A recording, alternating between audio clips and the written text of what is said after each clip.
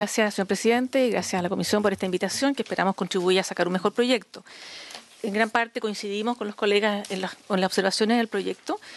Eh, más que todo quiero enfatizar que este proyecto es valioso desde una política pública que busca una mayor seguridad vial y un uso más eficiente de las vías, ¿no? la posibilidad de controlar efectivamente a los infractores de exceso de velocidad contribuye a la seguridad del tránsito. Actualmente ese, control es, más bien ocasional, excepcional, entonces el conductor no está seguro que lo van a, a sorprender, de modo que no, no, adecua necesariamente su conducta a la ley y en cambio una posibilidad real de ser fiscalizado en aquellos lugares idóneos donde corresponde fiscalizar por, por, por, ser un riesgo real de accidente, va a tener mayor precaución. Entonces da eficacia a esa norma y es también una contribución importante desde el punto de vista procesal al establecer un procedimiento administrativo que libera los juzgados de una tramitación realmente eh, inoficiosa en los hechos, porque citamos millones de personas, o, o, miles, porque no sé si alcanzaremos, por, porque efectivamente no, no, todos los tribunales no dan abasto a tramitación, va muy, poca, muy pocas personas, el 5% si es que va al tribunal a pagar la multa personalmente o a dar una explicación. La mayoría paga a través del registro, a través de la renovación del permiso de circulación.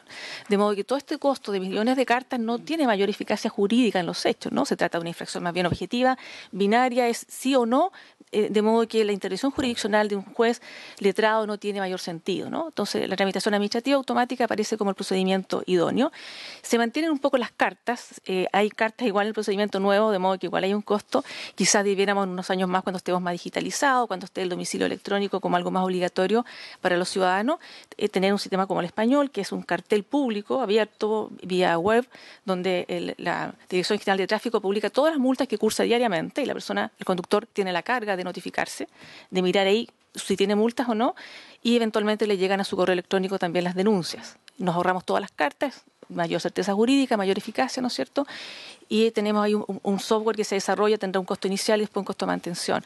Me refiero a que esa modalidad futuro parece ser la más eficiente desde el punto de vista de economía financiera, economía jurídica, dándole certeza a los ciudadanos y sin todos estos costos de las cartas que sabemos no llegan a, a domicilio. Pero eso es a futuro, digamos, para perfeccionar este sistema.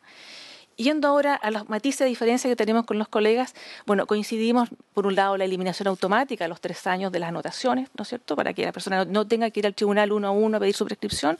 El registro civil revisa en su sistema, tres años que incorporó la multa, las elimina masivamente y así la persona no tiene que ir año a año a aclarar esa prescripción. Por otro lado, en la quinta, la, la, cuando habla la, el, el proyecto de cinco más infracciones cometidas en seis meses también es muy ambiguo. ¿ya? Debiera haber un agravamiento de la sanción desde la quinta, sexta en adelante de forma automática. ¿bien?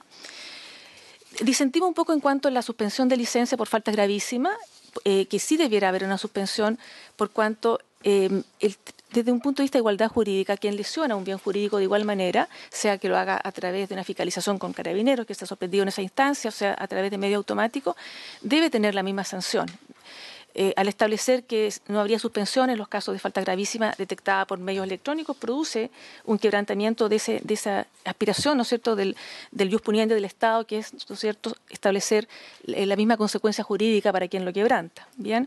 Así que creemos que debe man mantenerse la norma. Nosotros propusimos un texto que adecua un poco, da un espacio al, al, al propietario denunciado a presentar algún conductor presunto ante el juez de policía local con alguna justificación fundada, será un familiar, será un trabajador, el juez evalúa la situación y aplicará la suspensión al conductor que aparece eh, individualizado y, acreditado, sino aplicará una sanción al propietario. Pero liberar de suspensión eh, las, faltas gravísimas detectadas por medios electrónicos creo que es una mala señal, establece una desigualdad jurídica porque el fondo que el que tiene dinero va, fácilmente va a pagar las multas, no va, no va a sufrir realmente una mayor consecuencia y el que no tenga dinero le va a ser mucho más costoso eh, enfrentar esa, esa consecuencia. Bien, así que en ese sentido eh, perseveramos en que debiera haber una pena de suspensión acorde a, la norma tradicional.